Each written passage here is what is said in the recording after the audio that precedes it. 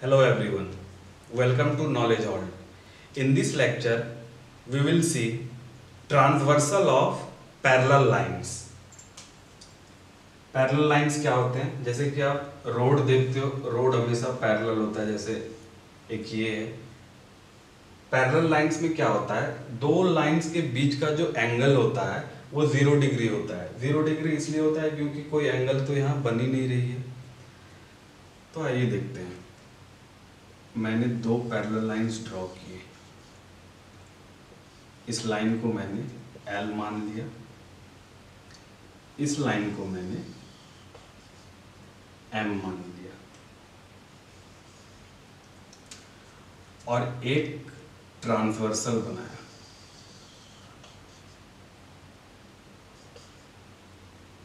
इस transversal line को मैंने पी मान लिया। ठीक है?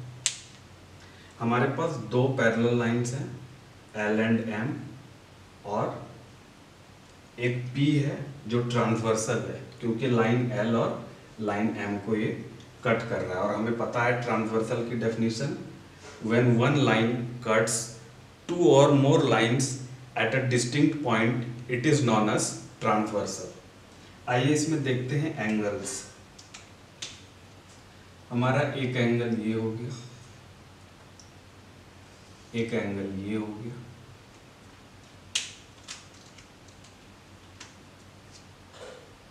एक एंगल ये हो गया। एक ये हो गया।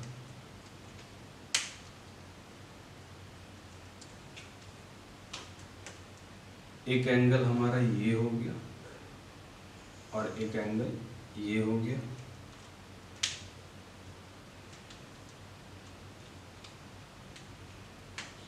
फिर हमारा एक एंगल ये हो गया और एक एंगल ये हो गया। अब आइए एंगल की हम नेमिंग कर देते हैं। इसे मैंने एंगल वन बोला, इसे एंगल टू बोला, ठीक है?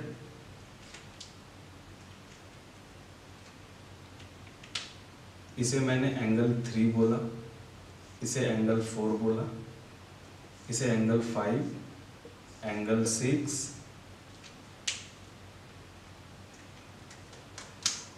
angle seven and angle eight आप सब लोगों को पता है कि angle one angle two angle seven and angle eight ये सारे एक्सटीरियर एंगल्स हैं।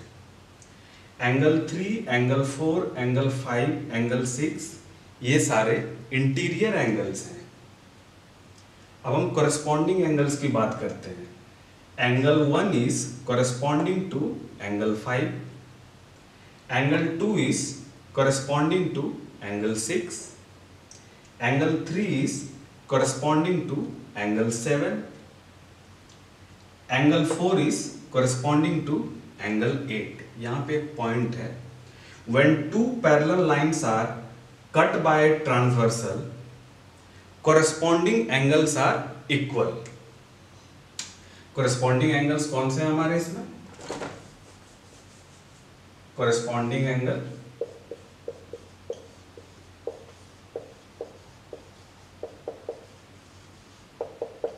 कोरेस्पॉन्डिंग एंगल्स हमारे एंगल वन एंगल फाइव तो क्या होगा? Angle one is equals to angle five angle two is equal to angle six फिर angle three is equal to angle seven angle four is equal to angle eight ठीक है? अब हम बात करते हैं ऑल्टरनेट इंटीरियर एंगल्स की। इसमें हमारा ऑल्टरनेट इंटीरियर एंगल्स कौन सा है? ये चारों एंगल्स ऑल्टरनेट इंटीरियर एंगल्स हैं। सॉरी ये चारों इंटीरियर एंगल्स हैं। Angle three is alternate to angle six angle four is alternate to angle five तो इसके अंदर एक पॉइंट है two parallel lines L and M are cut by a transversal P alternate interior angles are equal इसके जो alternate interior angles होते हैं, वो इक्वल होते हैं।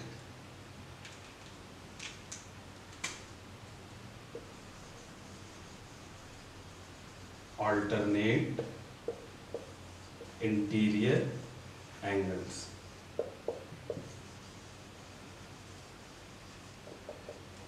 alternate interior angles क्या होते हैं? इक्वल होते हैं।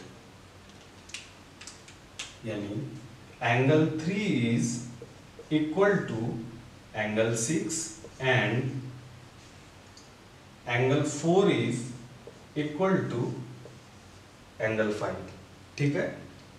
अब हम इसमें एक लास्ट पॉइंट देखते हैं.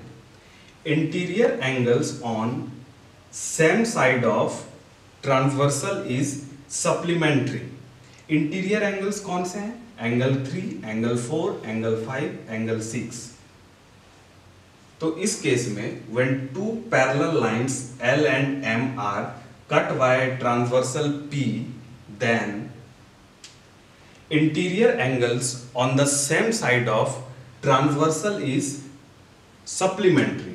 इसका मतलब क्या हुआ? हमारे पास जो interior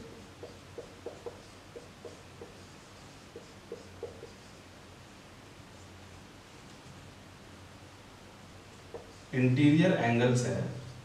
Interior angles on same side of transversal is supplementary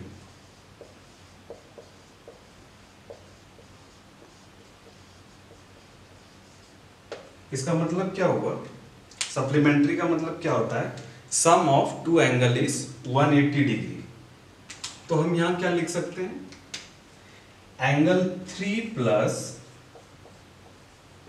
angle five equals to 180 degree in the same way angle four and angle six are on the same side of transversal P therefore angle four plus angle six equals to 180 degree ठीक है? तो transversal of parallel lines में हमने क्या देखा? When two parallel lines are cut by transversal P then the corresponding angles are equal फिर हमने क्या देखा? When two parallel lines are cut by transversal then the alternate interior angles are equal फिर हमने थर्ड क्या देखा? When two parallel lines are cut by transversal then the interior angles on the same side of transversal are supplementary. ठीक है? ये concept समझ में आ रहा है? इसके बेसिस पे एक्सरसाइज में जो भी क्वेश्चंस होंगे, आप आराम से कर लोगे। Thank you